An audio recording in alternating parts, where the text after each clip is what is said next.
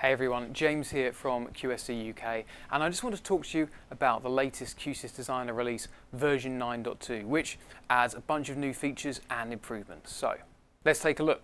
Firstly we have the much requested dark mode which comes as part of a general refresh of the QSys Designer UI and also many new control capabilities. So now you can do CEC control, with the NV32 and there's also a bunch of improvements to CSS styling for UCIs. So let's take a look at those features right now.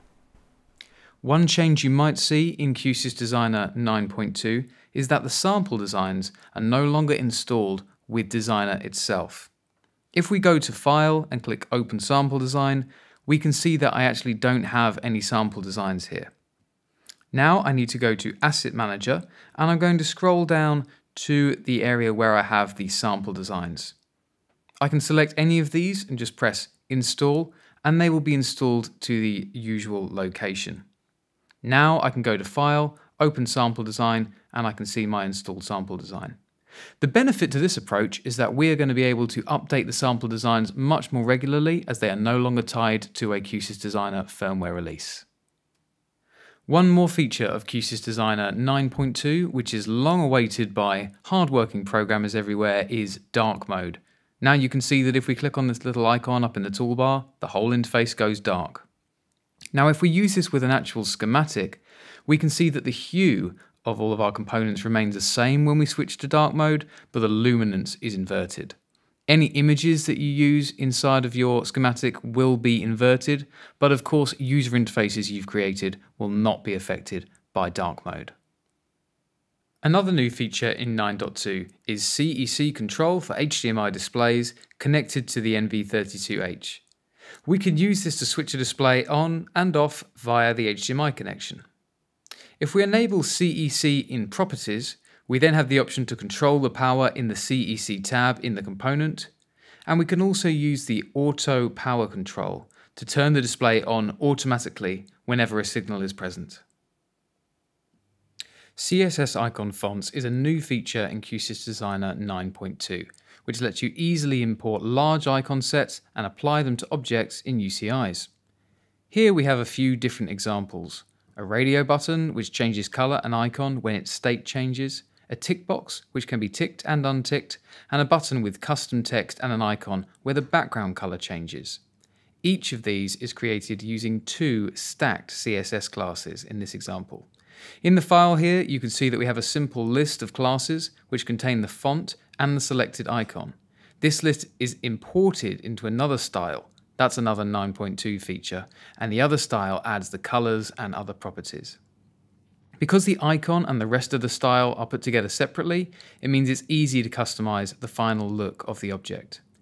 Here you can see Google's Material Design icon library, which is one of two icon sets included with QSys Designer, the other being Foundation. But you can add others as well from any font files you may have. So there's a little look at dark mode and the new control features of QSys, but we also have some improvements to Enterprise Manager. For example, there is a new Assets Viewer in Enterprise Manager. And the idea behind this is that it lets you see all of your AV peripherals throughout your entire organization that are managed by QSys and managed by Enterprise Manager. Whether these are third-party devices or native QSys devices, you can now see them all in one place, regardless of what system they're a part of, what site they're on, what core they're connected to, you can see all of them right here. And you can also export this as a CSV file. So that just makes it really easy to share with your colleagues and do asset management more generally. So a nice feature there. And also we've added the ability to connect to the internet from a QSys core via a proxy server. This is something that's quite important on more security conscious networks where a device is not simply allowed to just go out to the internet. It does need to go through a server. You can now do that with QSys, which means you can now, of course, use Enterprise Manager on those types of sites. A small improvement to software-based Dante as well. We've now added the ability for more optimized, more network efficient Dante flows when you're creating multicast flows from inside Designer. If you want some more detail on that, of course, do check out the release notes. And also some improvements to the AV stream router. So this is the component we're going to use if we're routing uh, AV over IP streams for NV series throughout our system. This is now improved for larger systems. So if you have a lot of inputs, a lot of outputs, you can now group these rather than just having one gigantic router. You can have these on different tabs. We've also added a uptime website for Enterprise Manager. So if you are using Enterprise Manager, do check that out. And then lastly, there is a new release of the automatic camera preset recall plugin. It's now on version 2, and if you're not familiar with this, it lets you take angle data from the Sennheiser Team Connect Ceiling 2 microphone and bring that into QSYS and use that to control cameras, control camera positions and selected cameras. Um, now the new version of this adds the ability for more cameras, up to eight cameras, but also each of those can have a secondary camera paired with it. And when you do that, these work together. So you have a primary secondary pair, and it means that the camera that is not currently visible is the one that will do a camera move to a new location and then be switched to.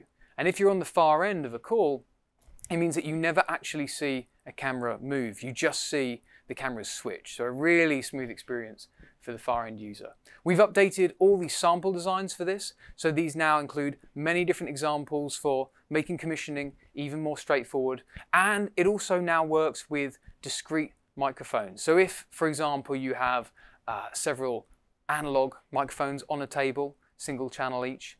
Uh, you can now monitor their activity and use that to record camera presets as well. So definitely check that out.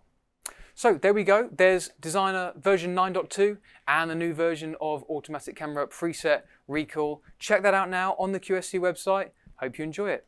Thanks a lot.